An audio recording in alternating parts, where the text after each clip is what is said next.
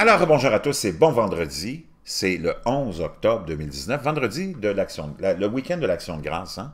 9h16. J'espère que vous allez bien en profiter. Pendant ce temps-là, merci à tous ceux qui sont abonnés. Ceux qui ne sont pas, venez nous rejoindre. Vous êtes là, abonnez-vous. Vous n'allez vraiment pas le regretter. On est vraiment une bonne gang. Il y a en ce moment des, vraiment des, des, des, euh, des abominations climatiques qui se passent. Il y a certaines régions, par exemple des États-Unis, où il fait 35, 36 degrés, d'autres où il va faire moins 10, tu vas avoir comme 50, euh, 60 degrés de différence, il va y avoir des 1 à 2 pieds de neige qui vont tomber, tu as des vents hallucinants, tu as des tempêtes dans le Pacifique hallucinantes aussi, des typhons, tu as des feux de forêt qui ont repris et qui sont en train de provoquer tout un émoi en Californie, encore une fois, maintenant, on est tout près de la ville de Los Angeles il y a des évacuations, l'état d'urgence va être déclaré. C'est vraiment le chaos total. Sans parler de la politique, on n'est pas rendu là encore. Il se passe quelque chose de démesuré. La météo se déchaîne cette semaine en Amérique du Nord. Inondations, tempêtes de neige, incendies. Des alertes météorologiques de toutes sortes ont été mises pour prévenir des millions de personnes. Les raisons, un fort contraste de masse d'air et, et des dépressions majeures. L'état d'urgence a été déclaré en Californie, dans le comté de Santa Clara, à cause de la menace d'incendie provenant, pouvant devenir extrême. Des millions de personnes sont coupées d'électricité, principalement dans le nord de l'État. De nombreuses écoles et universités sont fermées. Des couvre-feux ont même été instaurés dans le comté de Santa Clara afin d'éviter une multiplication des crimes et d'autres comtés devraient suivre la marche. Le Centre météorologique national des États-Unis a émis une alerte rouge pour plusieurs secteurs en Californie à cause de forts vents en provenance du nord-ouest, plutôt du nord-est, et de l'humidité de l'air très basse, deux facteurs pouvant aggraver les incendies.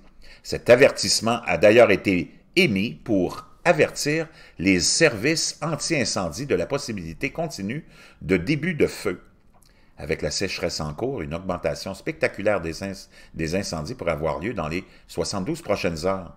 La Californie est marquée par deux saisons la saison sèche et la saison des pluies. Plus de 90% de la pluie annuelle pour plusieurs secteurs tombe entre novembre et avril, alors que la saison sèche est de mai à octobre et ne représente que 10% de la pluie annuelle, par exemple à Los Angeles ou encore San Francisco. Cette dernière ne connaît que 350 mm de pluie par an. En comparaison à Montréal, par exemple, les précipitations s'élèvent à plus de 1000 mm de pluie par année. De plus, la saison sèche coïncide avec les températures les plus chaudes de l'année ce qui dessèche énormément la végétation. Après un hiver plus pluvieux que la moyenne l'année dernière, les précipitations ont pu entraîner une augmentation des graminées et autres combustibles qui s'ajoutent à la végétation desséchée de la fin de l'été et qui pourront grandement nourrir les feux à l'automne.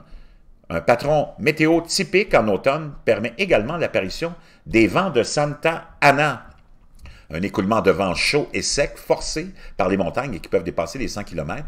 Et ce sont ces vents, ces vents euh, ces vents sont un dangereux carburant pour les feux. Et c'est exactement ce qui se passe en moment. En ce moment, on a des vents de 70 à 80 km h qui viennent justement accentuer ces incendies-là. La compagnie électrique Pacific Gas and Electric a voulu cette fois-ci prévenir d'avance hein?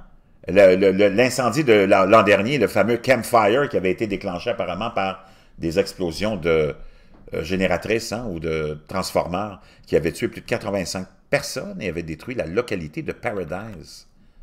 Donc, beaucoup d'images, je vous laisserai ça dans la boîte de description, ce lien.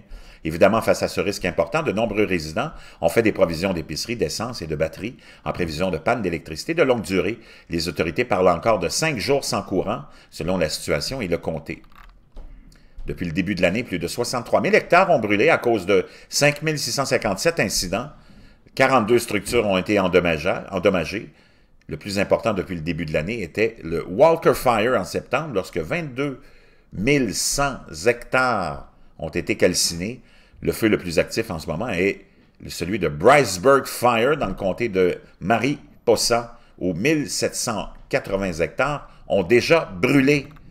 Alors que la Californie est sous l'emprise de ces feux dévastateurs, une masse d'air arctique a plongé et laisse des avertissements de gel jusqu'au nord du Texas.